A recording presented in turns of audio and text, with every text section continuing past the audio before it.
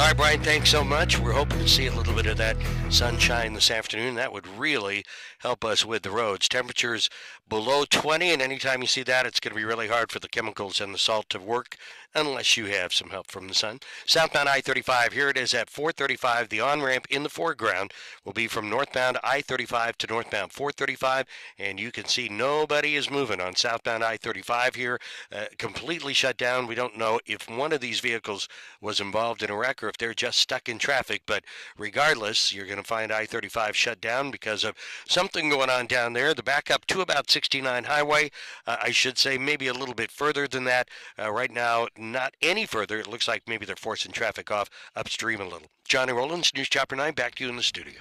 Well, Johnny, we've also learned about a road closure in that same vicinity. It's over at I-35 southbound just before 69 Highway, so keep that in mind. This has been an area we've been keeping an eye on all morning long in the Northland.